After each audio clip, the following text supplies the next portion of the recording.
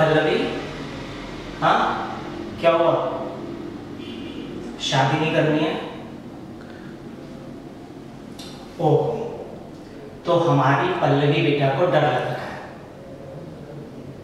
पर बेटा, डर तो हम सबको लगता है ना? लेकिन डर से डरते नहीं। उसका सामना करते हैं। यही सीखा है ना? फिर क्या हुआ? हम्म?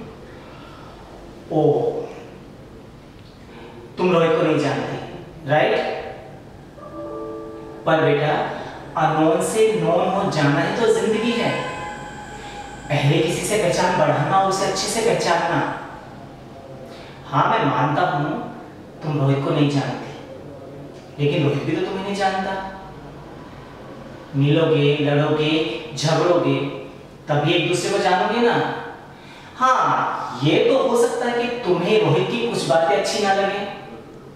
पर बेटा ये भी तो हो सकता है ना तुम्हारी कई बातें रोहित को ना अच्छी लगे। हम्म, हम्म।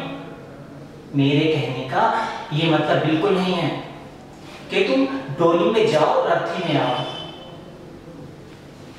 बेटा मैं सिर्फ़ इतना कह रहा हूँ कि किसी भी चीज़ को बिना ट्राई के बिना मत जाने दो। पटे तो ठीक है पति के साथ साथ एक अच्छा दोस्त भी मिल जाएगा। और नहीं पटे तो कोई बात नहीं वापस चले आना। पर बेटा, इस रिश्ते को निभाने के लिए ईमानदारी से एक कोशिश करना।